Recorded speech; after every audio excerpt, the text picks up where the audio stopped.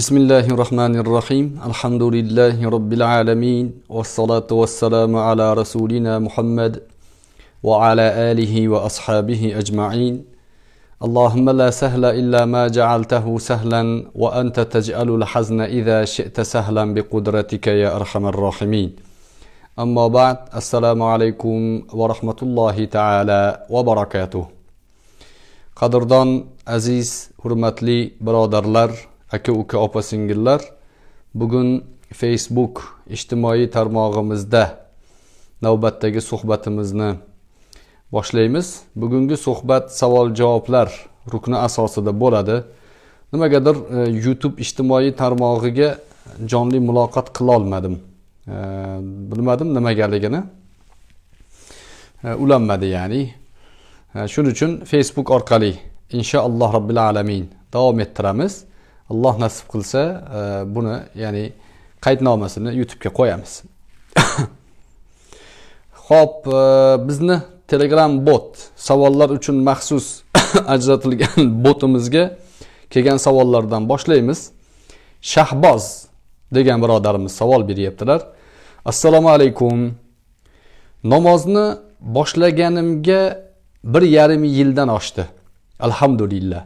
Lekin ko'p fahsh amallarga ko'z zinosiga o'zimni idora qilolmayapman juda ko'p tavba qildim va allohga qasamlar ichdim lekin va yana va yana takror shu ishlarda yengilyapman sizdan birodarlik sifatida nasihat qilishingizni so'rayman agar yana tavba qilib boshqa bu amallarni tark qilsam alloh qilgan gunohlarimni kechiradimi javobingizni intizorlik bilan kutib qolaman. Alloh rozi bo'ladigan amallarda sobit qilsin deb e, savolni jo'natgan ekanlar. Alloh subhanava taolo avvalo bu savol bergan e, birodarimizning boshlagan ibodatlarini avvalo o'z dargohida qabul qilsin. Haq subhanava taoloning e, buyurgan buyruqlariga E, amal qilib borishlarida o'zi kuch quvvat bersin. Zotan e, inson zotining tabiati shu. Inson zotining gunoh qilishlik e, tabiati moyilligi borligi uchun u gunohdan saqlanishlikka buyurilgan. Agar insonda gunoh qilishlikka moyil tabiat bo'lmasa unga san gunoh qilma deyishlikning mantig'i yo'qolib qoladi. Nima sababdan unga gunoh qilma deydi? Agar u gunoh qiladigan inson bo'lmasa. Mana shu mantiq bor. Va inson qilayotgan ibodatlarida o'zining ibodat qilyapmanman amal qilyapmanman degan faxrlanishlik tuyg'usidan qutqarish kerak. Avvalo shu. Dastlab banda inson o'zining olloh huzurida banda ekanligini his qilish kerak. Olloh buyurgan ibodatlarni qilish bu qandaydir banda tomonidan ollohga taqdim qilinadigan bir mato emas bu. Balki bandalik qullik asosida inson amalga oshirishi kerak bo'lgan insoniy majburiyatlar u. Uni qilishlik albatta insonning o'zini e, zimmasidagi vojibotlar hisoblanadi. Lekin insonning o'sha gunoh qilishlikka ya'ni tabiati moyil ekanligi o'sha gunohni qilmasa qilishga qodir bo'lib turib qilmasa va ana shu odamga beriladigan ajrga ham endi u inson haqli bo'ladi.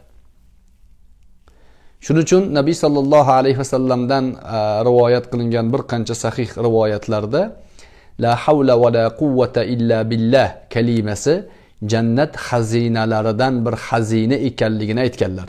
Bu kalimaning ma'nosi la havla va la quvvata illa billah. Havl ham quvvat ham manda yo'q illo ollohda bu degan gapni takrorlash buni ma'nosini tushunish bu asosda inson e'tiqodini mustahkamlash.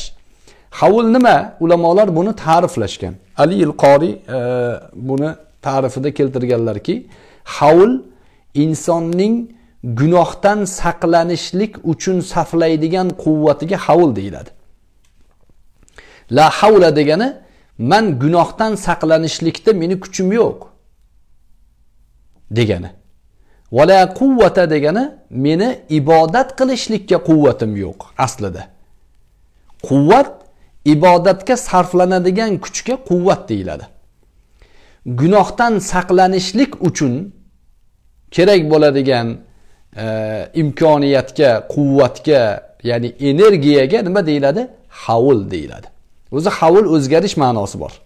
Ya'ni inson bir gunohdan o'zini to'xtatib qololmaydi darrov o'shanga moyil bo'lib qolishi mumkin. Bu quvvat bu kuch manda yo'q. Illo billahil aliyil azim. Magaram oliy bo'lgan ulug' bo'lgan zot ollohning manga bergan havli ollohning manga bergan quvvati bilangina ibodat qila olaman gunohdan saqlana olaman degan e'tirof. Bu bandalikning cho'qqisi bu. Inson bandaligini ollohning huzurida e'tirof qilishdan ortiq ibodat qilolmaydi sajdaga yotishimiz o'zimizni olloh huzurida haqiqiy banda ekanligimizni e'tirofi bu. Eng aziz peshonamiz e, yuzimizni yerga qo'yishligimiz eng katta bandaligimiz bu. Insonning yer yuzida eng katta fazilati eng katta mansabi allohga bo'lgan qulligida ko'rinadi. Insonning yer yuzida masalan erishishi mumkin bo'lgan juda katta maqomlar bor martabalar bor.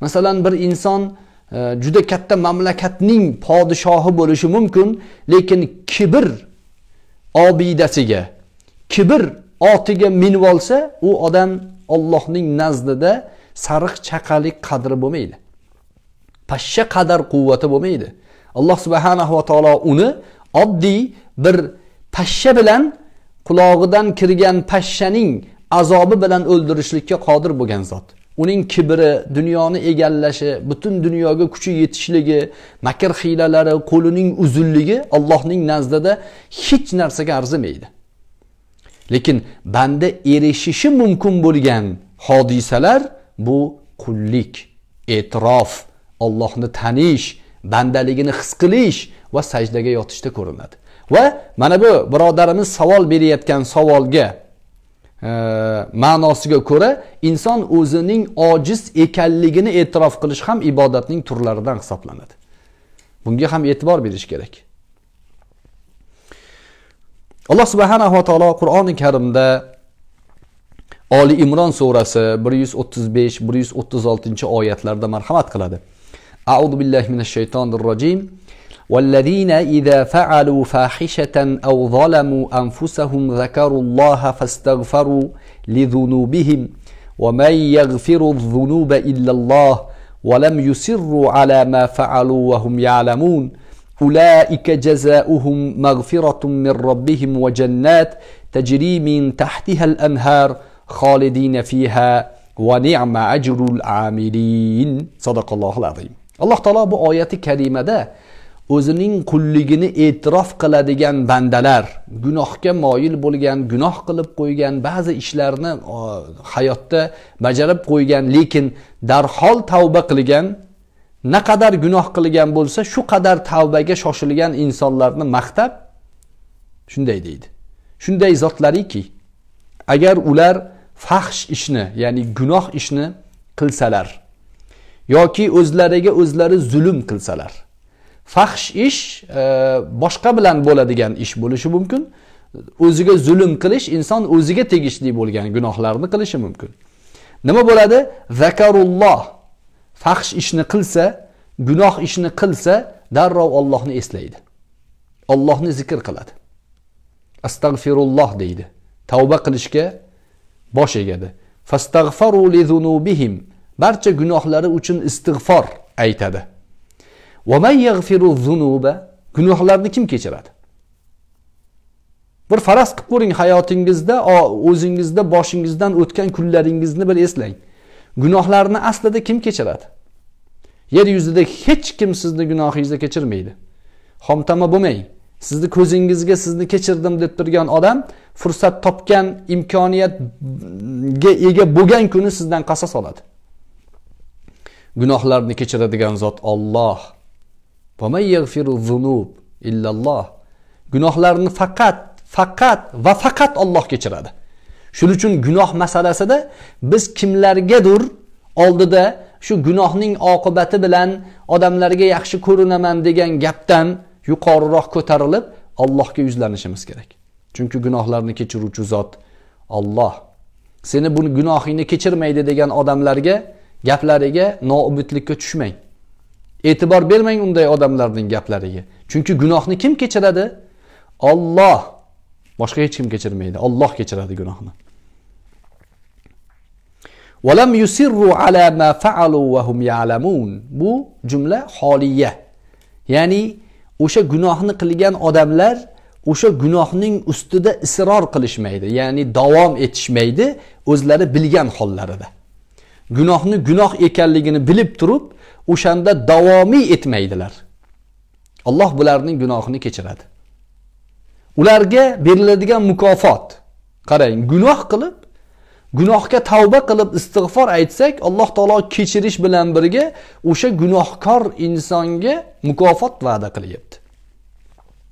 Ulaika jazauhum magfiratun min robbihim ularga robbilaridan bo'lgan mag'firat mukofoti bor. Va jannatun tajrimin tahtihal anhar. Va jannatlar bor. Jannatin ko'plik. Bir qancha jannatlar bor tavba qilganlar uchun. Tajrimin tahtihal anhar ostlaridan anhorlar oqib yotgan jannatlar.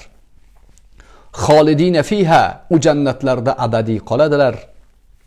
Va ni'ma ajrul abidin amal qiluvchilarning ajrlari naqadar ulug' va naqadar oliy deyapti alloh taolo. Ajoyib go'zal mukofot. Bu oyati karimada gunohni bilib turib unda doimiy davom etmaydigan odamlarga bu mukofotni va mag'firatni va'da qilayotganligi bor.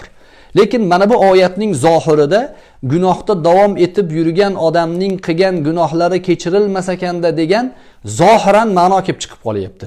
Lekin mufassirlarimiz buni balog'at va fasohatiga ko'ra ilmiy asosiga tafsiliga ko'ra o'sha oyati karimaning asl ma'nosini tafsirini boshqacha aytishgan ibn kasir aytadilar وقوله ولم يسروا على ما فعلوا وهم يعلمون أي تابوا من ذنوبهم ورجعوا إلى الله عن قريب ولم يستمروا على المعصية ويسر مقلعين عنها ولو تكرر منهم الذنب تابوا منه ابن كثير aytadilar alloh taolo qur'oni karimda mana bu oyati karimada bilib turib turib gunohda davom etmasalar ularga e, ulkan gunoh ya'ni mukofotlarni va'da qilishligining ma'nosi nima ular gunohlarini bilib turib qilgan gunohlariga tavba qilishlikni to'xtatishmaydi tabu min dunubihim gunohlaridan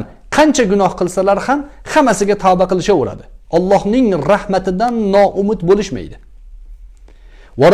ilallohi an qarib gunoh qilgan zahoti darrov allohga qaytishadi mana bu o'sha takror qilingan bo'lsa-da darrov allohga qaytish va o'sha gunohlari uchun qalqalada turishlik alloh meni bu gunohimni kechirarmikin degan umidvorlik va doim qalqalada turishlik o'sha ma'siyatda davomiy bo'lsalar ham ma'siyatni endi gunohi kechirilmaydi buni degan gap bilan davom etmasliklari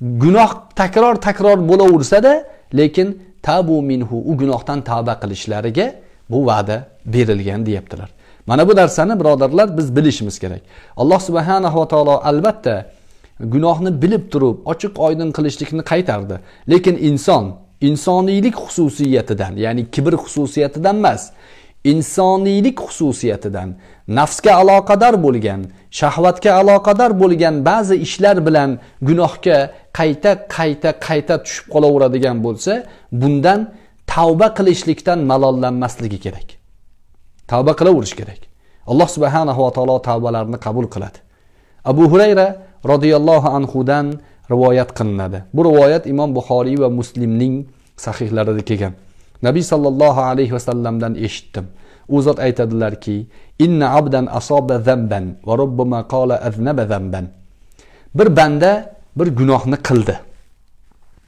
keyin aytdiki qola faqol robbi aznabtu va rubbama qala asabtu faghfirli ey parvardigoro man gunoh qildim bir gunohga tushib qoldim bir gunoh yetdi menga.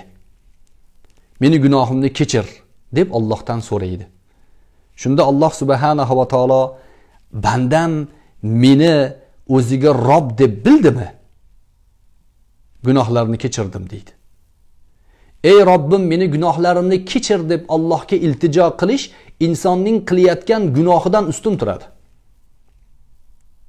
Inson bir gunohni qilsa ya'ni o'zining nafsiga tegishli gunoh albatta birovga birovning haqqiga tegishli bo'lgan gunohlarning sharti boshqacharoq. Birovni haqqini ado qilish kerak. Bid'atga tegishli bo'lgan gunohlarning sharti boshqacharoq. U bid'atdan tavba qilish kerak to'xtash kerak. Lekin inson o'zining insoniyligidan kelib chiqqan gunohlari uchun tavba qilib ey robbim gunoh qilib qo'ydim meni kechirgin desa alloh subhanahu va taolo bandam meni rob deb taniyaptimi kechirdim gunohini deydi. Alloh taolo bir bandaning gunohini kechirdi. U banda gunohi kechirilgandan keyin yana bir gunohga tushdi. Yana bir gunohga tushdida orqasidan gunohdan biroz o'tgandan keyin aytdiki ya rob fag'firli ey robbim meni yana kechirgin dedi yana gunoh qilib qo'ydim dedi. Alloh subhanahu va taolo alima abdi anna lahu robban? Bu bandam uning robbisi borligini bildimi? Kechirdim gunohini deydi. U banda yana gunoh kechiriladi. Yana bir muddat o'tgandan keyin yana bir gunohni qiladi. Yana robbiga qaytadi. Ey robbim gunoh qildim deydi. Banda aytadiki robbim aytadiki bu banda robbisi borligini bildimi? Gunohlarni kechirdim deydi. Bu narsani alloh subhanahu va taolo e, banda tavba qilsa gunohini kechirishlikdan malollanmasligigacha e, rivoyatning boshqa turuqlarida kelgan. Umumiy xulosa mana bu sahih hadisning e, muddaosiga ko'ra birodarlar gunoh qilishlik insonni noumidlikka tushirmaslik kerak. Insonning holati vaziyati mahzunlikka sabab bo'lmaslik kerak. Har doim gunohni kechiradigan robbimiz borligini esdan chiqarmasligimiz kerak. Alloh subhanahu va taolo bandaning gunohlarini kechirishligi bilan xursand bo'ladi va bandaning gunohlariga tavba qilishligiga quvonadi.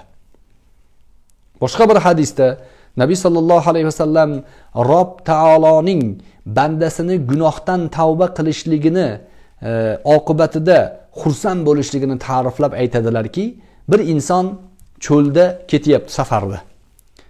Tuyasining ustida suvlari yemoqi zodi rohila hamma narsasi tuyasini ustida turibdi yoki otini ustida turibdi. Shunda birdan tuya qochdi. Tuya qochib ketdi cho'lda. Bu yog'i besh oylik yo'l to'rt tomon besh oylik yo'l. Na suv bor na yemak bor hech narsa qolgani yo'q. Banda nima qiladi? Inson nima qiladi? Endi o'limdan boshqa umidi qolgani yo'q. U endi shu uxlagan paytimda o'lib qo'ya qolay hozir tikka turgan ya'ni uyg'oq holda o'lsam azob chekaman dedida qumni bir barxanni yoniga yotib uxlab o'limini kuta boshladi. Uxlab qoldi. Uyg'onsa ro'barosida tuyasi turibdi. Ustida yuklari bilan suvlari bilan turibdi. Shunda bandaning tili ham chalkashib san meni bandamsan man seni robbingman deb yuborar ekan allohga zikr qilaman deb. Banda o'sha paytda qanaqa darajada xursand bo'ladi? Xursandligidan qanaqa darajada uning ya'ni e, boshi osmonga yetadi? Bu misolni nabiy sollallohu alayhi vasallam aytmasalar buni biz misol keltirolmaymiz payg'ambar alayhissalotu vassalom alloh subhanahu va taolo bandaning tavbasidan shunchalik xursand bo'ladi dedilar. Shunaqa xursand bo'ladi dedilar. Banda bu narsani tushunishligi uchun bilishligi uchun bu misolni keltirdilar. Biz tavba qilishligimiz tavbadan hech qachon noumid bo'lmasligimiz har qanday gunohni yer yuzini to'ldirib allohning huzuriga gunoh bilan borgan inson o'sha gunohlariga tavba qilgan bo'lsa istig'forini aytib qo'ygan bo'lsa tavbaning shartlarini o'rniga keltirgan bo'lsa alloh subhanahu va taolo yer yuzi to'ldirgan mag'firat bilan uni kutib oladi. Imom navoiy o'zlarini o'sha sharhil muslim degan e, imom muslimning sahihlari sahih to'plamlariga yozgan sharhlariga alohida bob ochib mana bu hadisni keltirganlar hozirgi hadisni. Tavbaning shartlari agar gunohlar takror bo'lsada tavba qabul qilinishligi to'g'risida bob deb ochganlar. Qabulu tavbati minaz-zunub va in takarrarat-zunub va tavba degan degan bob ochganlar. Ya'ni agar gunohlar takror takror takror bo'laversa tavba ham shuning orqasidan takror takror bo'lsa bu tavbaning qabul bo'lishi haqidagi bob deb bob ochganlar va ostidan bu masalalarni mana bu mavzuga aloqador hadislarni keltirganlar. Umar ibn abdul aziz rahimaullohning xutbada juma xutbasida e, qilgan xutbalarini ibn rajab hambaliy keltiradilar. umar ibn abdul aziz aytadilarki ayyuhannas من ألم بذنب فليستغفر الله وليتوب فإن عاد فليستغفر الله وليتوب وإن عاد فليستغفر الله وليتوب فإنما هي خطايا مطوقة في أعناق الرجال وإن الهلاك في, في الإصرار عليها ey insonlar kimda kim bir gunoh bilan alam chekayotgan bo'lsa kimda kim bir gunohidan pushaymon qilib turgan bo'lsa Allohga istig'for aytib tavba qilsin. Agar yana gunoh qilib qo'ysa, yana istig'for aytib tavba qilsin. Agar yana gunoh qilib qo'ysa, yana istig'for aytib tavba qilsin. Chunki gunohlar, xatolar inson bo'ynidagi osilgan tamg'aga o'xshaydi. Inson bo'yniga osilgan bir tumorga o'xshaydi. O'zi bitta mutavvaqa deyilyapti. Bu qullarni bo'yniga osib qo'yadigan e, qullarga e, ya'ni qochib ketmaslik uchun osiladigan narsaga aytiladi. O'sha xatolar inson bo'ynidagi shu og'ir yukka o'xshaydi. Agar inson o'sha xatolarni qayta qayta bo'yniga osaversa tavba qilmasa oqibatda halok bo'ladi dedilar. Ya'ni tavba qilmasa halok bo'ladi. Chunki insonning tabiati qoni fikri moyilligi shu gunohga moyil u. Gunoh qilgan odamni malomat qilmaymiz gunoh qilgan odamning tavba qilmasligini malomat qilamiz. Asl maqsad ma'no shundan iborat. Hasan basriy rahimaullohga aytishgan ekan bir inson kelib so'rashgan ekan. Hasan basriy rahimaulloh e, tobiiylardan bu kishiga aytishgan ekanki ala yastahi ahaduna min robbihi yastaghfiru min min zunubihi thumma yaud thumma yastaghfiru thumma yaud فقال ود الشيطان لو ظفر منكم بهذا فلا تملوا من الاستغفار hasan basriydek zot ahli ilmning oldiga kelib aytishgan ekanki biz hayo qilmaymizmi robbimizga tavba qilamiz orqasidan yana bir gunohni qilib qo'yyapmiz Orqasidan tavba qilib yana bir gunohni qilib qo'yyapmiz. Yana qilib yana gunoh qilib qo'yyapmiz. Bunda yana tavba qilishlikda Allohdan hayo qilishimiz kerakmi? Hayo qilish deganda shu tavba e, Allohning huzurida tavba qilishlikdan hayo qilishimiz kerakmi? Deyishdi. Shunda u kishi aytdilarki shayton mana shu mujodalada g'olib bo'lishlikni xohlaydi dedilar. Ya'ni gunoh qilasizlar insoniylikka borib tavba qilishlik ilohiy ta'limotga amal hisoblanadi tavba qilasizlar Alloh kechiradi yana gunoh qilasizlar yana tavba qilasizlar yana gunoh yana tavba bu mujodalaning orasida shayton sizni noumid qilishlikka harakat qiladi shuncha gunohni qilding nima qilasan tavba qilib? Kallang bormi? Uyalmaysanmi san? Hamma yo'qni pashag'ini chiqarib olgansanku. Sen tavbang tavbangmi? deb insonni vasvas qiladi shayton. G'alaba qilgisi keladi. Sizni tavbadan to'sgisi keladi. Shaytonning xususiyati.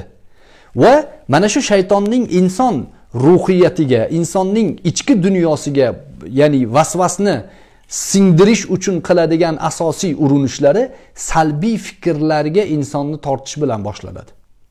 Bu taktika bu uslub shayton yaralgandan beri inson bilan bo'lgan mujodala o'rtasida davom etib kelayotgan uslub. Bu uslubdan foydalanadigan shaytonning yer yuzidagi tamsilchilari shaytoniy insondan bo'lgan shaytonlar. Minal jinnati vannas nas. Insonlardan bo'lgan shaytonlar ham mana shu uslubdan foydalanishadi. Insonni noumidlikka tushirishadi. Xor bo'lib ketyapsizlar pachag'inglar chiqib ketdiku e, muammoinglar boshinglardan oshib yotibdi qachon sizlar e, bu ahvolda xorlikda qolib ketasizlar deb insonlarning ichidagi muammolarni bo'rttirib ko'rsatib odamlarni endi noumidlikka tushirishlikka harakat qilishadi. Insonlar noumidlikka tushib nima qilaylik desa bizga ergash deydi.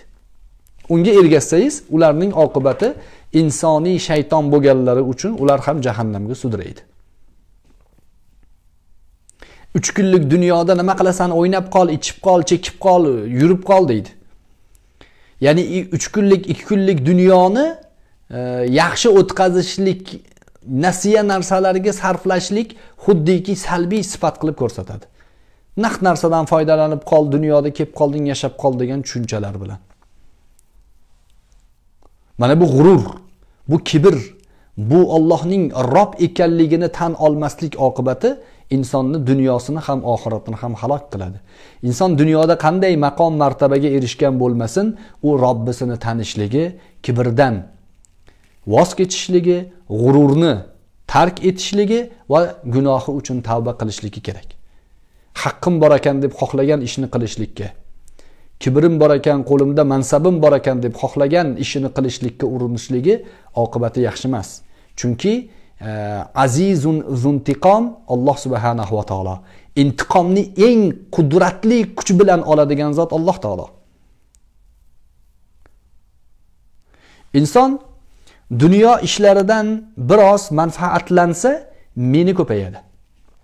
Ozgina puli ko'paysa men topdim deydi aqlim zo'r deydi pulim bor atrofimda odamlarim yaxshi demak man gapirishim kerak deydi man shunday odamlarni ko'rdim ahli ilmlarga zakotdan nasihat qilayotgan boylarni ko'rdim boy puli bor ahli ilmlarga zakotni qanday berishlikni o'rgatyapti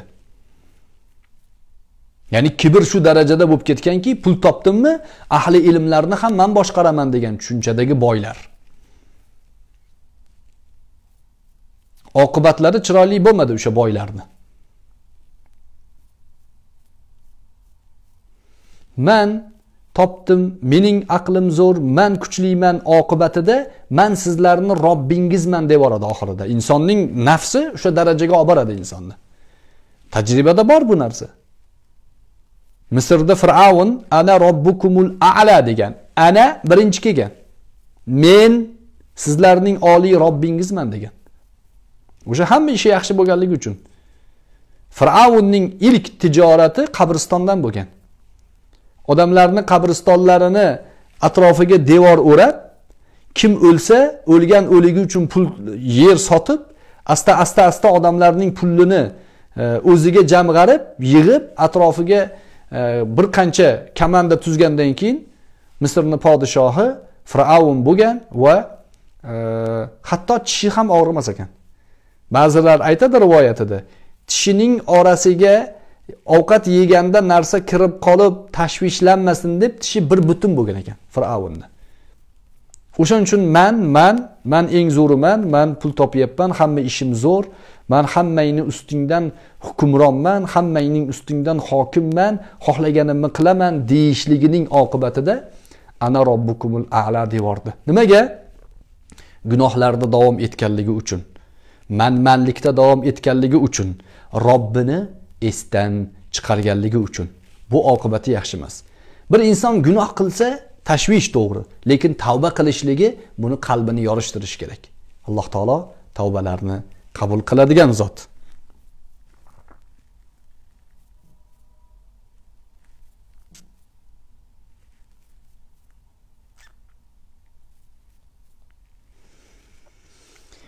Va ni'ma ajrul amilin amal qiluvchilarning ya'ni al amilin ismiy xabar bo'lib kelyapti ya'ni e, balog'atda shunday qoida bor.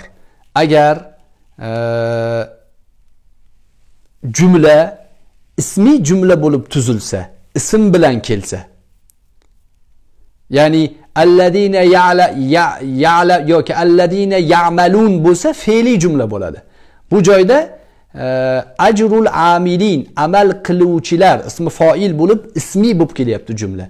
Bu nimani ifoda qiladi desa yuqorida gunoh qilgan odamning tavbasi doimiy bo'lishligiga ishora qiladi. Ya'ni bir inson gunoh qilsa doimiy tavba qilishligi kerak. Doimiy. Qilgan gunohini esdan chiqarmasdan unga ham nadomat qilib borish kerak. Boshqalarga aytmaslikka aytmaydi lekin unda doimiy tavbani o'zida mm, barpo qilish kerak. Ajrul amilin o'sha tavbaga doimiy e, harakat qilib turadigan gunohda davom etmaydiyu tavbada davom etadigan insonlarga e, bu ajr mukofot va'da qilingan. Deyaptilar umumiy xulosada shu birodarlar e, savol bergan birodarimiz namozni boshlaganman bir yer bir yer bo'lib qoldi deyaptilar. Ba'zi ishlarga mubtalo bo'lib qoldim ulardan tavba qilishlikka hijolat qilyapman degan e, ya'ni ruhiyatda savol beryaptilar. Bunaqa qilmang alloh subhanahu va taolo gunohlarni kechiradi. Lekin e, bu gap bilan insonning e, xotirjam qilib qo'yishlik niyatimiz yo'q.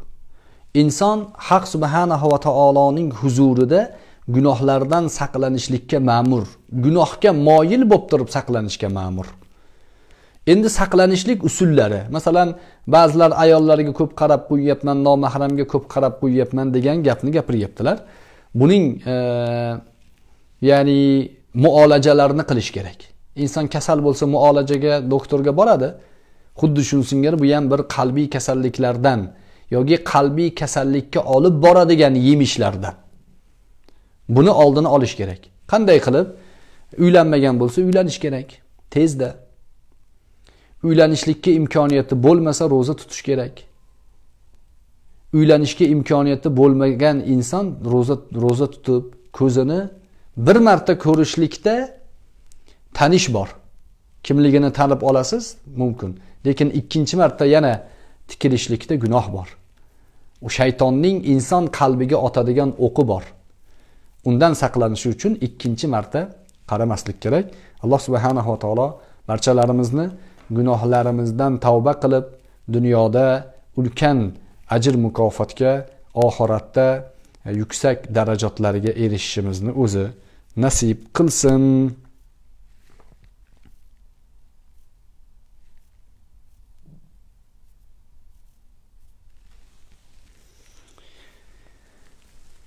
Zinatulloh degan birodarimiz assalomu alaykum ustoz men olloh uchun ehson qilgim bor edi uyda taom berib ehson qilaymi yoki uni muhtoj kishiga berib qilaymi? Qay biri afzal javob uchun rahmat debdilar. Bu joyda ehson tushunchasini biroz e, ya'ni to'g'irlab olishimiz kerak. Ehson nima? Ehson haqida e, ya'ni tushunchamizni kelishtirib olishimiz kerak. Ehson o'zi aslida lug'atda ixlosning sinonimi sinonim ya'ni murodif ehson ixlosning murodifi ixlos nima u ham arabcha ixlos qilinayotgan amalni faqat va faqat ollohning o'zi ko'rib turganligini his qilib qilish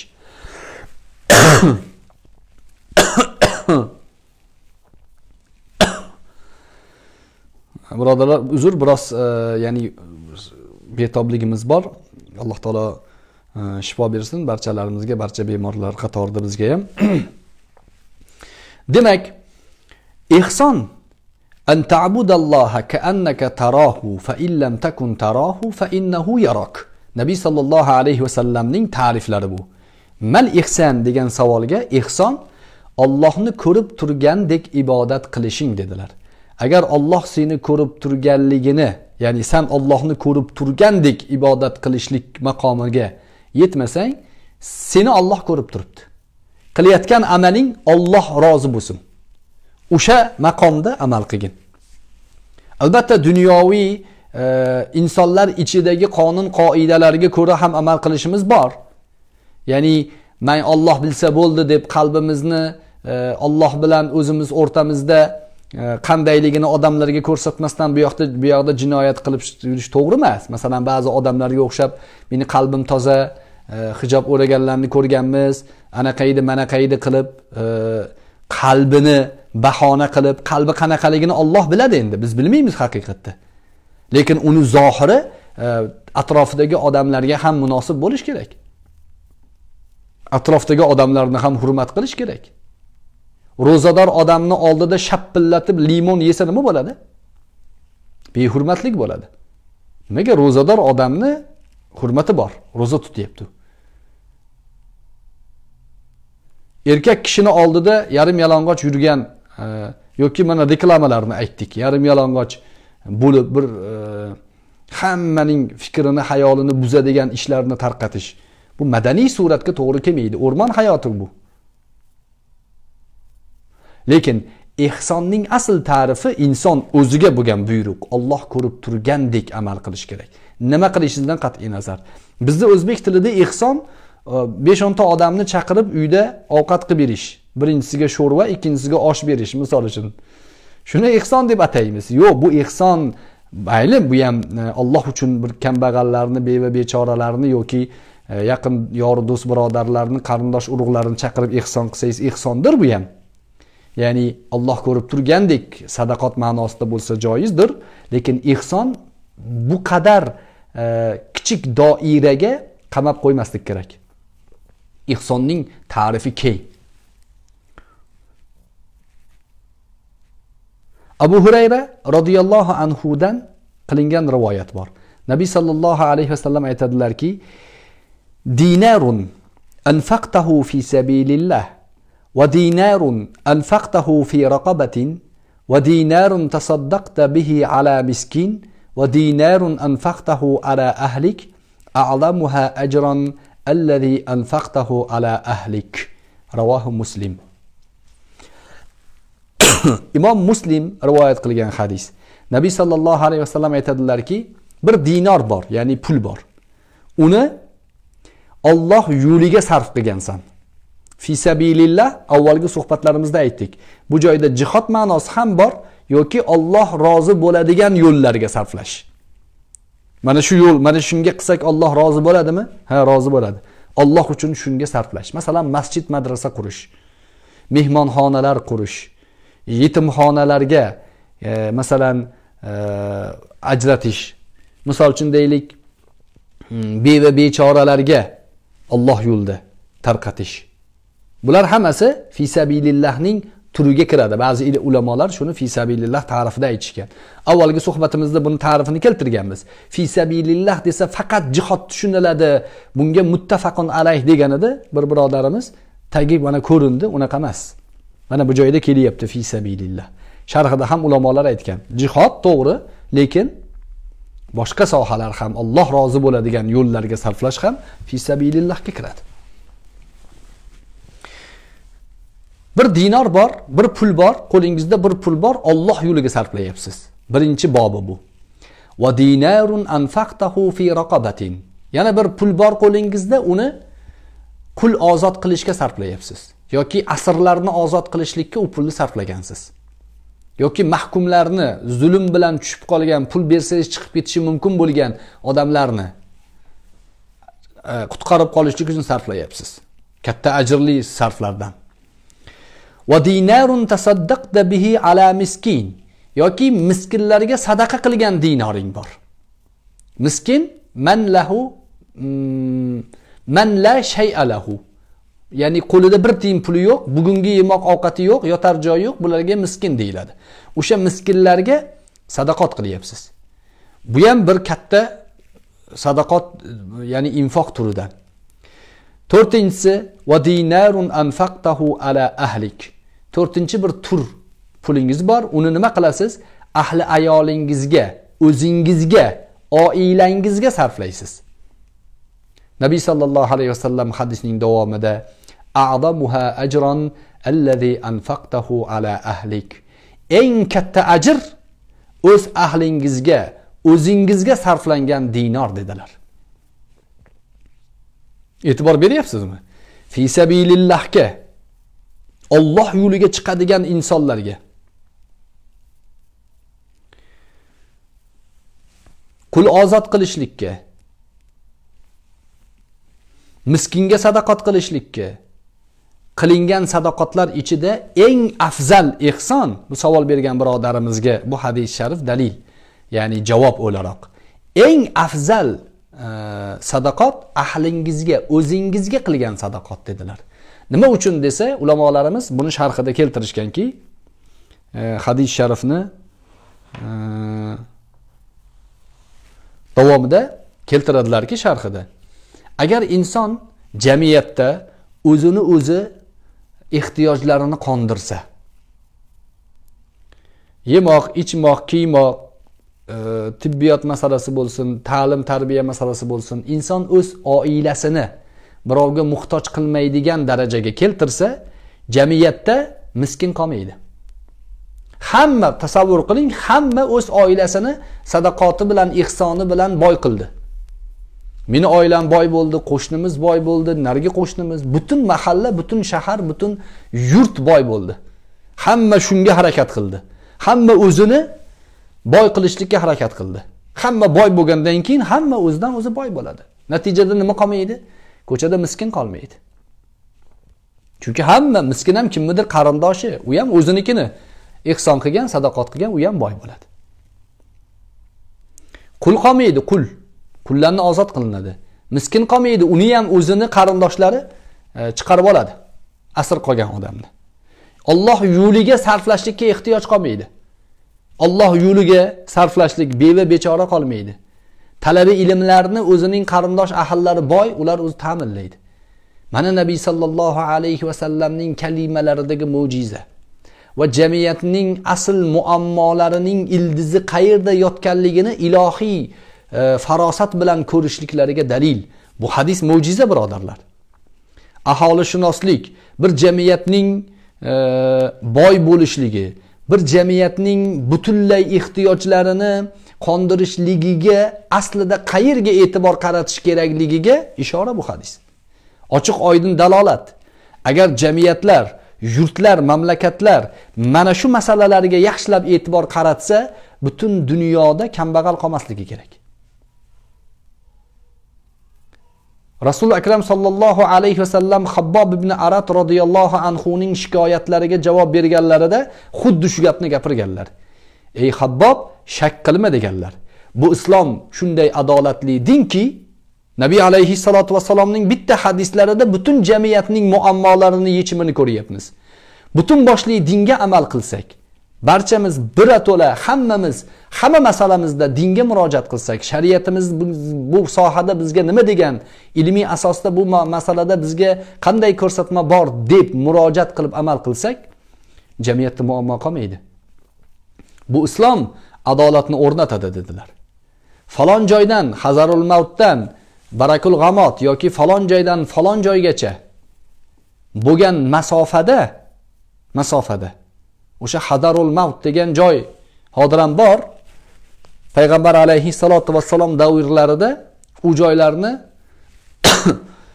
nomi hazarul mavt bugungi nom bilan tarjima qilsangiz sitsiliya bo'lgan.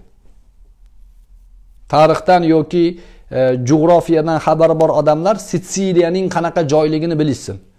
Sitsiliya shunday joyki kirib u yoqdan chiqib tirik chiqib ketishlik qiyin bo'lgan joylar.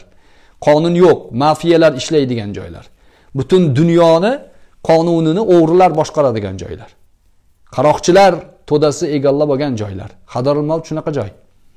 Nabiy alayhissalotu vassalom makka davrida ojiz bo'lib turib faqat ojizlar u kishiga iymon keltirib juda qiynalib turgan paytlarida habbobning shikoyatiga jahl qilib ya'ni tanbeh berib habbob shak qilma deganlar bu islom adolat o'rnatadi hazarul mavtdan turib falon joygacha boshidagi tillosini bir misqol kamaymasdan odamlar tashiydi deganlar odamlar qo'yini bo'ri yeb qo'yishligidan xavotir qiladi xolos zulm bo'lmaydi deganlar va bu bo'ldi.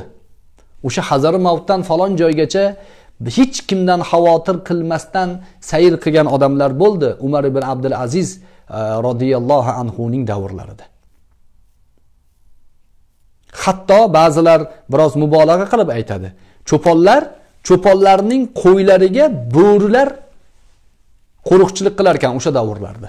Shu darajada darajada insonlar adolatli darajaga yetdiki hattoki bo'rilar ham qo'ylarga tegmaydigan darajaga yetdi deyishgan bir kuni bir cho'ponning bo'rilari ya'ni bu mubolag'alidir gap lekin tarixda shunday ajoyib gaplar bor bir cho'ponning bo'rilari o'zining qo'ylariga hujum qilib qolibdi hujum qilganda aytgan ekanki bugun umar ibn abdulaziz dunyodan o'tdi shekilli adolatni boshida turgan xalifamiz adolatning boshida turgan umar ibn abdul aziz vafot etdi shekilli. Nimaga deyishganda chunki bo'ri qo'yga tashlandi deganlar. Zulm boshlandi deganlar. Demak birodarlar nabiy sollallohu alayhi vasallamning sadaqotlar ehsonlar masalasidagi tavsiyalari eng afzali o'zingizdan boshlang. O'zingizdan boshlang. Ya'ni siz o'zingizni yetishtiring jamiyat uchun foydali inson bo'lib yetishtiring kasb hunar masalasida ilm masalasida jamiyatga yetarli inson bo'lib tarbiyalaning topgan mablag'ingizni shunga sarflang ahlingizga ayolingizga farzandingizga ota onangizga akangizga ukangingizga tog'a amma xola qarindosh urug' shulardan boshlang sadaqot yaxshiliklar xayriyatlarga eng haqli insonlar eng yaqin insonlaringiz. Buni esdan chiqarmang. Islomning ilmiy ma'nodagi omonati ham shundan iborat. Boshqa din vakillari ruhoniylar yoki boshqa e, diniy sektalar pul saplash pul tarqatish masalasida har doim o'zlarining tashkilotlarini birinchi o'ringa qo'yishgan. Masalan hozir qo'liga qurol ko'tarib olganlar zakotni bizga beringlar deb gapirishyapti. Eng zo'ri zakotni eng afzali fi sabilillohga deyishyapti. Payg'ambar alayhissalotu vassalom ahlingga o'zingga sarfla deyapti. Hizbiylar har oyga yoki har qaysidir e, kvartalga vznos ajratishgan dastlab. Baytul mol qilib o'zlariga alohida joy ajratishib kim hizbiyga a'zo bo'lsa qasam ichgandan keyin oyma oy topgan pulidan hizbiyga pul tarqatishgan. Mana bularning din furushligi. Bular din furush saroy mullasi deb gap tarqatyaptiyu aslida bular o'zlari shunaqa. O'zlari bunaqa narsani tezroq gapirib yuborib bu aybdan qutulish uchun harakat qilishyapti. Yo'q birodarlar hizbiyga pul bermanglar. Pulingizni isrof qilasiz. Bugun qo'liga qurol ko'tarib olib boshqa mamlakatlarga bostirib borgan odamlarga zakot deb pulni bermang zakotingiz zakotga o'tmaydi. O'zingizga yaqiningizga bering. Ilm qanday bo'ladi? Masalan hozir man bu gapni gapirib turib siz bilan bu o'rtada bir qilman manga pulingiz kerak emas yaqiningizga bering deyapman. Manga manfaati bormi? Yo'q sizdan manfaatim yo'q manga. Manga hozir kelayotgan xatlarni ichida qancha odamlar bor? Mana shu xatni yozgan birodarimizni yonida tepasida shuncha narsa ajrataylik sizga borsin undoq bundoq degan gaplar bor. Manga kerak emas. Eng yaqiningizga oilangizga sarflang. Dinning omonati shu birodarlar. Bu bilan qiyomatda so'ralamiz biz. Bilding ko'rding nimaga san o'zingga uni ro'baro qilding deydi alloh taolo qiyomat kunida. Hizbiylar bunaqa narsalarni bunaqa tushunchalarni orqaga otib yuborgan o'zlarining jamoatlariga pul sarflashtirishlik uchun hadislardan shu o'rinda foydalanishadi. ularga bu ma'noda aldanmaslik kerak. Eng yaxshi sadaqot eng yaxshi infoq o'zingizga qilingan infoq. O'zingizni to'ydiring birinchi. Ahlingizni to'ydiring atrofingizni to'ydiring eng yaxshi infoq ehson qilgan. Bo'lasiz birodarlar e, ikkita savolni o'qidik. Ellik minut bo'libdi ozgina ekan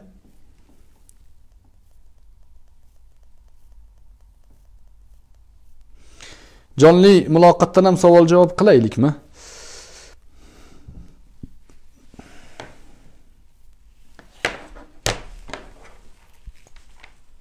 Ovozim past bormayaptimi? Yaxshimi? Mikrofon tutib olganman. Davlat degan bir birodarimiz bor edi. Ilgari birga ishlardik u kishi bilan. U kishi menga shu mikrofon sovg'a qilib ketibdilar. Ho'p o'shandan foydalanib sizlar bilan suhbatlashyapmiz ovozimiz yaxshi yetib boryaptimi o'zimni ovozimni o'zim bir eshitib qo'yaychi. Ha yaxshi ekan. Mikrofon yaxshi.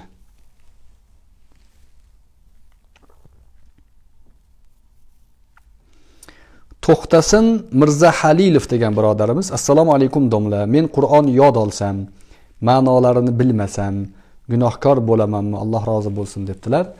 Juda dolzarb mavzu ekan. Bu ham ya'ni bu mavzuni ko'tarayotganlar bor edi. Ba'zi odamlar shu e, o'zlarini faoliyatlariga e, shunga o'xshagan gaplarni aralashtirib qur'on yodlagan hofizlarimiz qorilarimizni malomat qilishibdi. To'g'ri emas. E, qur'on ma'nosini oldin o'rganib keyin yodla. Yoki oldin yodlab keyin o'rgan degan gap yo'q albatta ma'nosini bilish unga amal qilish bizni ya'ni umrimiz oxirigacha kerak bo'lgan ish u bu bizni vazifamiz lekin qur'onni yodlash alohida fazilat uni ma'nosini bilmasa ham yodlash fazilat yer yuzida yer yuzida tilovatiga ajr beriladigan yagona kitob qur'on tilovatiga har bir harfiga ajr bor har bir harfiga man alif lam mim harf demayman alif bitta harf lam bitta harf mim bitta harf deganlar nabiy sollallohu alayhi vasallam qur'onning har bir harfiga ma'nosini bilsangiz ham bilmasangiz ham o'nta ajr yoziladi shuning uchun qiyomat kunida jannatning eng yuqori maqomida qori o'tiradi qori qoriga san qur'onni o'qi deydi alloh subhanava taolo. Qori qur'onni o'qigan sari maqomi ko'tarilaveradi. O'qib tugatgan joyida maqomi to'xtaydi. Va undan ortiq maqom bo'lmaydi. Bir inson duo qilib ollohdan bir narsani so'ramoqchi bo'lsa mana shu so'ramoqchi bo'lgan narsasidan qur'on qiroati uni mashg'ul qilib qo'ysa qur'on qiroati bor ikki pora qur'on o'qimoqchiman deyapti. Lekin ollohdan duo qilib so'raydigan narsasi ham bor. Narsa so'rayman desa qiroatdan qiroat qilaman desa duodan qolib ketadi. Shunda nabiy alayhissalotu vassalomning ko'rsatmalari qiroat qilaversin deganlar. Alloh taolo so'ragan narsasidan afzalini o'zi biladi beradi deganlar.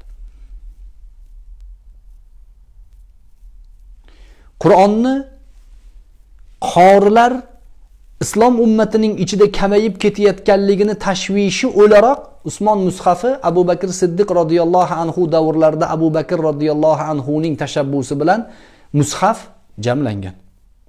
Bir g'azotda yetmishga yaqin qorini xiyonat qilib mushriklar qatl qilganda nabiy alayhissalotu vassalomning sahobalari tarbiyasini olgan zotlar kelib abu bakr siddiq roziyallohu anhuga qorilar kamayib ketyapti. Bir bir buni chorasini ko'ring deyishgan. Allohu alam huzayfatil yamoniy bo'lsa kerak u kishi kelib aytganlar chorasini ko'ring qorilar haqida. Shunda hadrati umarni chaqirganlar hadrati umar e, nabiy alayhissalom qilmagan ishni qilmayman deganlar tushuntirganlar qorilar qolmasa bu mushaf kerak bizga. Keyin rozi bo'lganlar zayd ibn sobitni chaqirishgan roziyallohu anhuni zayd ibn sobit ham avval yo'q deganlar keyin tushuntirishgan rozi bo'lganlar. Lajna tuzilib qur'on hamma yoddan biladi qur'onni ya'ni qorilar madinada yetarli u davrlarda. Lekin shundoq bo'lsa ham ommaning oldida akademik hozirgi mana bir ming to'rt yuz yildan keyin hozir qilinayotgan ishlarni o'sha paytda sahroda yurgan siz bilan biz bugungi kunda ularni madaniy demaydigan ya'ni cho'ponlar tuya boqib yurgan insonlar shunday ajoyib ilmiy asos bilan mushafni shakllantirishganki bugungi insoniyat lol qoladi ularni oldida. Har bitta odam o'zining bilgan oyatini qo'lida yozilgan oyatini yozuv ham e, ularga muhimda endi yoddan biladi endi. Masalan zayd ibn sobit qori murattab ubay ibn kab qori roziyallohu anhu. Murattab qori bular.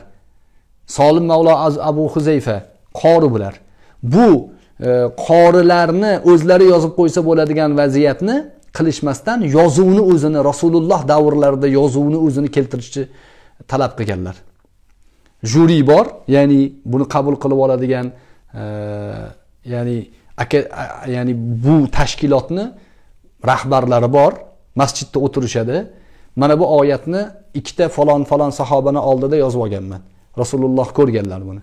Olib kel qo'y qo'yishib ha to'g'ri qur'onda bor bu deb yozishgan. Nima uchun desa shu qorilar kamayib ketmasligi uchun. Qorilarning kamayib ketayotganligidan tashvish qilganlar uchun qilishgan buni. Qaysi vijdon bilan qanday qo'rqmasdan qur'onni ma'nosini bilmasdan yodlagan odam undoq mundoq deb gapirib yuboradi odamlar. Man avval bir ikki marta bir qizilroq bo'lsin deb misol keltirganman. Katta ring ringda tayson bilan luis boks tushyapti. Pastda turib olib o'shalarga nasihat qilayotgan chillashirlarni holatiga o'xshataman shu qorilarga gapirayotgan odamni. O'zing chiq ringga. Baqara surasini yodlasan bir o'tirginda baqara surasini yodla. Buning mashaqqati qanaqa ekanligini va uni ko'tarib yur. Yodlab qo'ymas ko'tarib yur uni uyqudan uyg'otganda tahorat qilib keling o'ting xatmga desa o'tib ber buni mashaqqatini ko'rsan keyin gapir beli og'rimaganni non yeyishiga boq deydi bizni o'zbekda maqol bor shunaqa beli og'rimagan o'tirib bir joyda mehnat qilmagan kelib olib shapillatib qorilarni fazilatidan e, o'zining ochkosiga foydalanyapti odamlar u hizbiy mahmud bo'lsa bu homilador mahmud. Bid'atga homilador. Qur'on karim yodlashlik farz emas debdi. Avvalo namozni ado qilarlik darajada farz. Buni keyin to'g'rilabdi. Namozni ado qiladigan darajada farz deb. Ikkinchidan ummatning ichida qur'oni karimning barchasini yodlaydigan jamoat bo'lishligi farzi kifoya. Bizni xalqimizni ichida qori bo'lmasa bitta ham qori bo'lmasa hammamiz gunohkor bo'lamiz. Bir ovozdan gunohkor bo'lamiz. Chunki farzni ado qilmayapmiz. Farzni ado qilish kerak u qori bo'lish kerak ichimizda. Ma'nosini bilish bilmasligi ma'nosini siz biling o'zingiz o'rgating. Qori endi qur'onni tashlab ma'nosini o'rgansinmi borib? Sizga ergashsinmi deputat bo'lsinmi borib siz bilan? Ha deputatligingizni qiling o'tirib qorilarni ishiga aralashmasdan mahmudku bir tiyinga qimmat islom ummatini ichida xoin sotqin odamlar bid'atiga inqillab yurgan odamlar boshqorong'i odamlar ular qorilar kerak emas kim kerak desangiz hizb tahrir kerak deydi ular siyosatdan gapiradigan hizb tahrir kerak siyosatdan ham gaplashamiz xohlasa siyosatda ham ular no'lavoy odamlar. Siyosatni ham ja biladigan odamlar emas. Siyosatni bilsa shu ahvolga tushadimi? Ular qori nima ulardan nimani so'rang faqat o'ziga aytadi. O'zining tomoniga ko'rpani tortaveradi. Boshqa narsani so'rang uni ham aytadi. Yo deydi. Undan ko'ra asl ma'nosi bu deydi hizbi tahrir deydi. Ey mavzu emas desangiz yo'q to'g'ri mavzu emas lekin aslida hizbi tahrir deydi. Ey biz boshqa gap gaplashyapmiz biz yo'q to'ppa to'g'ri siz to'g'ri aytyapsiz lekin hizbi tahrirda deydi shunaqa bo'lib qolgan ya'ni shuni eshitayotgan odamlar shularni qo'llab quvvatlayotgan shularning atrofida yurgan odamlarga hayron qolaman man ular o'zi jinniligi aniq bunga ergashayotganni kim deyish mumkinda demak qur'onning ma'nosini bilmasa yodlab yodlash kerak emas ummat uchun nima qilding demang birodar ummat uchun farzi kifoyani zimmasida ko'tarib yurgan zamonamiz qahramonlari bular ummat muhtoj bo'lgan boshqa sohalarga siz harakat qiling siz siz o'zingiz aytayotgan o'sha narsalarni ado qiling ummatga oramizda doktorlar bo'lishligi farzi kifoya bitta ham doktor bo'lmasa biz mana hozir hindistonga boryapti odamlar ba'zi sohalarni yechimi uchun ummat gunohkor bo'ladi o'sha mutaxassis yetishtirib chiqarmasak ahli ilmlar oramizda bo'lishligi farzi kifoya hamma ahli ilm bo'lish shart emas ahli ilmlar bo'lmaganligi uchun abdulloh zufarlar maydonga chiqib olib turib vovullayapti ya'ni ularga maydonni bo'sh qo'yib berganligimiz uchun ummat zarar ko'ryapti farzi kifoyani ado qilishlik ummatga manfaat beradi agar ado qilmasa xuddi shunaqa zarar keladi ummatning yoshlarini qo'liga qurol berib boshqalarning siyosatiga qurbon qilib yuborishadi shuning uchun farzi kifoya o'rtada maydonda turib aytish kerak man jonimni xohlasam siz o'zingizni tinchligingizni o'ylasangiz ana bunisi o'zini uyini xotirjamligini o'ylasa hamma gunohkor bo'ladi buni kimdir ko'tarish kerak kimdir buni farzi kifoyasini zimmasiga olish kerak zimmasiga olgan odamlarni malomat qilganlarni tishini qoqib olish kerak o'zi aslida majoziy ma'noda aytyapman ya'ni borib urib yurmanglar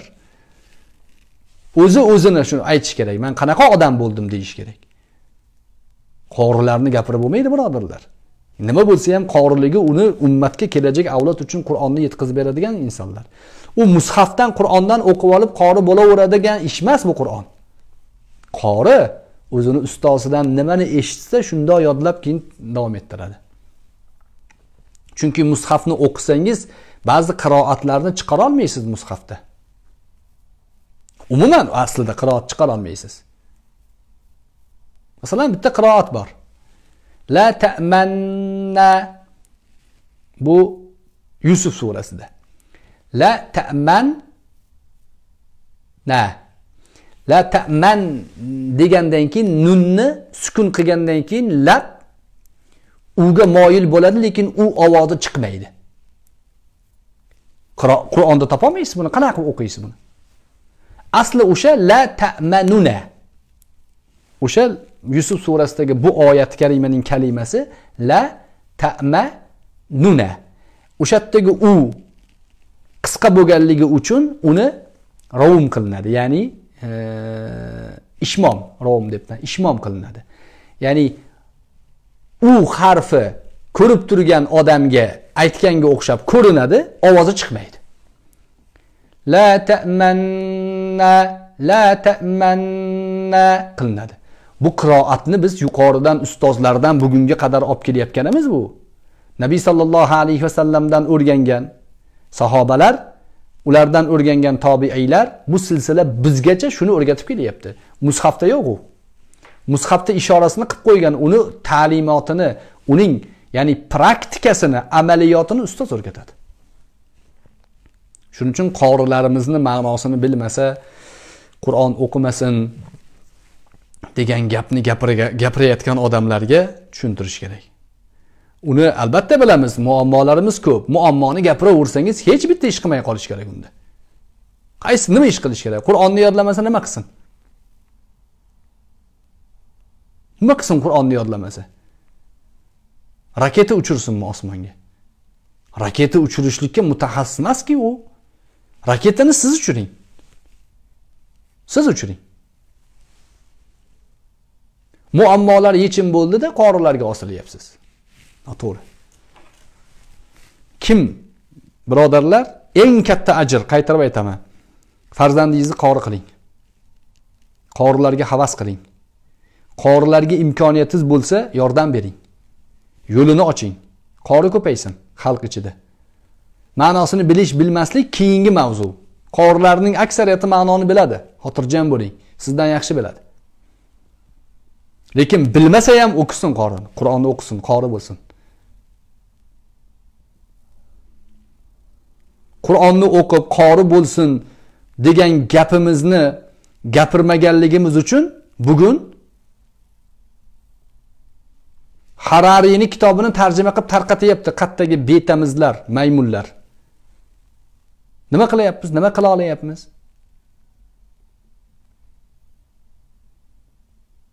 noil harari nova hararimidi oti bosh oti esimdan chiqibdi. Turmush o'rtog'i erkak. O'zi ham ya'ni erkak bo'lib tug'ilgan. Sifat ma'nosida emas jism ma'nosida. O'shani kitobini tarqatishyapti shuni o'qi deyishyapti. Sardor sarimga o'xshaganlar. Qur'on o'qimas qur'on o'qima deb bo'ladimi ya? Imom molik rahimaulloh dunyodan o'tganlaridan keyin shogirdlari tushlarida ko'rishgan. Eng katta ajr eng katta mukofot nima ekan deb so'rashgan. Imom molik aytgan ekanlarki bu tushda. Albatta bu dalil sifatida ko'pchilik e, ya'ni hukmga olmasligi mumkin. E, o'sha ya'ni qur'onni mushafga qarab o'qishdan ko'ra katta ajr ko'rmadim deganlar qur'onning mushafi o'ziga qarab turib o'qishdan boshqa katta ajr ko'rmadim deganlar mana shu qutqardi meni deganlar imom ahmad ibn hambaldan ham shunaqa rivoyat bor ajrlar ichida insonning insonning yer yuzidagi mana e, ubudiyat masalasida eng katta savobli ajri ulug' bo'lgan savobli ishlardan biri qaysi deganda qur'onga qarab mushofga qarab qiroat qilish deganlar. Chunki qarang bitta harfga o'nta ajr beriladi. Ma'nosini bilmasa hamma deganda ahmad ibn hambal ha ma'nosini bilmasa ham deganlar. Chunki qur'onning ma'nosini hamma bilaveradigan darajaga juda qiyin masala u.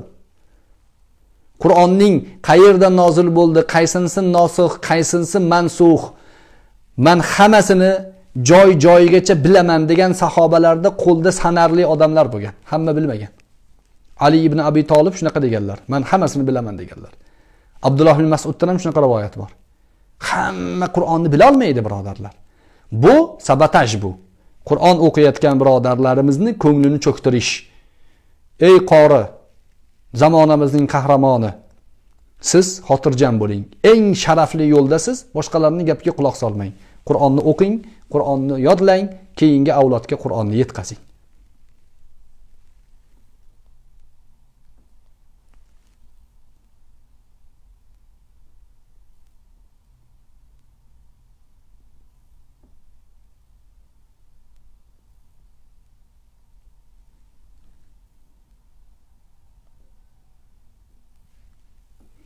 Qotib qolmadingmi birodarlar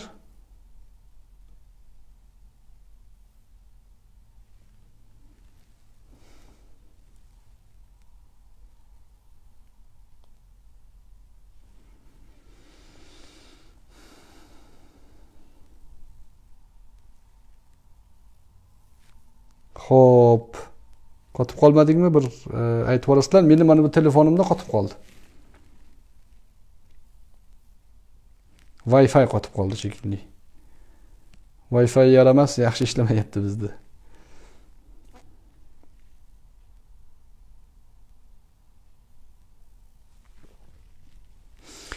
Keyin yana e, shu o'rinlarda ba'zi gaplarni aytib ketdik.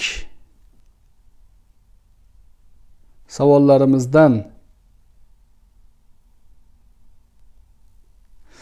Kamoliddin degan birodarimiz savol insonning bosh qismiga so'ksa dindan chiqadimi? Rahmat alloh rozi bo'lsin debdilar. Bu gap tarqabdi. Ho'p solixon domla e, nomi bilan bir domla borlar. Bu kishi e, o'sha bir kishini boshiga so'ksa dindan chiqadi e, degan fatvoni gapiribdilar. Bu fatvo bor kitoblarda insonning boshi alloh subhanahu va taoloning o'zi tarafidan yaratilgan jasadni farishtalarga buyurgan shuning uchun insonni boshiga haqorat qilsa e, kalima aytadigan og'ziga e, tiliga nisbatan haqorat qilsa og'ir gaplarni gapirsa dindan chiqadi e, kofir bo'ladi degan gaplar fatvo kitoblarda bor. Lekin bu fatvolarni E, ma'nolarini u davrdagi odamlarga tushuntirilgan. Tushuntirib mana bu mana bu mana bu vaziyatga ko'ra mana shu holatga ko'ra so'kilsa dindan chiqadi deyilgan. Chunki bu narsalar jamiyatda ko'p zararlarga olib borayotganligi uchun bu, bu masalalarga e, alohida e'tibor qaratilgan. E, e, lekin tushuntirmasdan turib bu gaplarni ommalashtirib olishlikni xatarlari bor. Odamlar bu masalalarni aytib qo'ygan endi nima qilamiz? Yoki bu masalalarni qanday qilib yechim topamiz yechimi topilmasa kimga uchraymiz mana bu narsalarni biroz mulohazasini qilish kerak. Aslida bu joyda masalaning tagi eng e, ya'ni e, markazi iymonga tegishli mavzularda zikr qilinadi. Nabiy sollallohu alayhi vasallamdan sahih rivoyatda keladi. Payg'ambar sollallohu alayhi vasallam aytadilarki e, sabbul mo'min kufrun. Sabbul mu'min fisqun va qitaluhu kufrun deganlar mo'minni so'kish mo'minni so'kish fisq u bilan jang qilishlik kufr deganlar bu hadisni sharhida ulamolar aytadiki so'kishda mo'minni nimasini so'kish mo'minni so'kish deyilyapti nimasini so'kish boshinimi qo'linimi a'zolarinimi yoki uning iymonini so'kishmi yoki uning ba'zi xulq xulqini so'kishmi yoki uning e, kiyimini kuylagini so'kishmi mana shunga o'xshagan ta'rifotlarni o'rganishgan taf, taftish qilishgan va umumiy xulosa shuki mo'minni mo'minni shaxsiy adovat bilan so'ksa fosiqlik bo'ladi nima qilib so'ksa ham gunoh gunoh kabiralardan noto'g'ri ish e, jazosi bor buni alloh taolo buni jazosini oladi tavba qilmasa lekin e, iymonini so'kmasa kufr bo'lmaydi iymonini so'kmasa qatl ham shu mo'minga nisbatan qurol ko'tarishlikni kufr deganda ulamolar iymoniga qarshi kufr qurol ko'tarish deb ta'riflashgan chunki iymoniga qarshi qurol ko'tarmasa uni kofir deydigan bo'lsak oyati karimada kelgan e, ma'noni javobini topolmay qolamiz alloh taolo hujrot surasida marhamat qiladi audu billahi minash shaytonir rojim وإن طائفتان من المؤمنين اقتتلوا فأصلحوا بينهما وإن طائفتان agar ikki toifa minal mu'minina mo'minlardan bo'lgan ikki toifa iqtatalu bir birlariga qurol ko'tarib jang qilsalar fa aslihu baynahuma dedi ikkalasini isloh qilib qo'yinglar mana bu o'rinda bir biriga qurol ko'targan ikkita toifani Alloh Qur'oni Karimda mo'minlar deb nomladi va in toifatani minal mu'minina dedi mo'minlardan bo'lgan ikki toifa bular qurol ko'targan-ku ha mo'min deyapti Alloh taolo demak hadisi sharifda hadisi sharifda bir biriga qurol ko'targanlarni e, kufr deyapti payg'ambar alayhissalom oyati karimada bir biriga qurol ko'targanlarni mo'minlar deyapti qanaqa qilib bularni jamlaymiz bir biriga zidmi desa yo'q hadis qur'onga zid bo'lishi mumkin emas hadisda ko'zlangan ma'no mo'minning iymoniga qarshi sani iymoningga qarshiman deb jang qilsa kofir bo'ladi. Ikkita mo'min o'zaro urushib ketsa bular iymoni asosida urushmayapti. U ham mo'min bu ham mo'min. U ham mo'minligini tan oladi bu ham mo'minligini tan oladi. O'rtada boshqa adovat bor. Bularni isloh qilib qo'yish kerak. San kofir bo'lding san kofir bo'lding deyilmaydi. Isloh qilishlikka harakat qiladi. Fa in إحداهما على الأخرى ukhra التي تبغي eh, tabghi hatta إلى ila amrillah. Agar ikkalasidan islohga harakat qilsangizu bittasi yana jangni boshlaydigan bo'lsa endi o'sha bog'iyga qarshi qo'shilib siz ham jang qiling uni to Allohning amriga qaytgunga qadar. Allohning amri nima? Isloh shu. Kelishgunga qadar deyapti. Shu qadar shu qadar islomning isloh ya'ni islomning sulh dini ekanligi to'g'risida shu qadar ma'lumotlar bor. Hammasini berkitib islom urush dini qatl dini deyayotganlarga hayronu lol qola o'tiribmiz shu kunlarda birodarlar. Xosatan yoshlar ko'zingizni oching. Islom dinini urush dini qitol dini jang dini qilib ko'rsatayotganlar mana bu oyatlarda ko'rsatilayotgan asl ma'nolarni yo bilishmaydi yoki berkitishyapti. Demak yuqorida kelgan mo'minning iymonini so'ksa kofir bo'ladi. Shuning uchun iymon kalimasi insonning boshidan ya'ni tilidan chiqadi. Shuning uchun boshiga so'ksa iymoniga aloqador bu degan ishtihodlarni qilishgan ulamolar bu ishtihodlar fatvoga aloqador. O'shaning uchun bu masalalarni biroz taftish qilish kerak yengil sathiy qarab gapirmaslik kerak. Э, albatta so'kmasin bunday e, masalalarga murojaat qilmasin lekin masalaning natijasi bu. Iymonni yomon ko'rish kufrga olib boradi. Iymonga qarshi jang qilish kufrga olib boradi. Alloh taolo bizlarni iymonga muhabbatli mo'minlarga shavqatli kofirlarga shiddatli bo'lishimizni o'zi nasib qilsin. Dunyoda iymonimizni salomat e, amallarimizni Alloh qabul qiladigan amallar bilan boyitishlikni o'zi nasib qilsin e, oxiratda nabiy sollallohu alayhi vasallamning atroflarida qorilar bilan eng baland maqomdagi jannati firdavslarda birga bo'lishimizni ham nasib qilsin. Subhanakallohumma va bihamdik. Nashhadu an la ilaha illa anta va nastag'firuk va natubu ilayk. Va axiru da'wana anil hamdulillahi robbil alamin.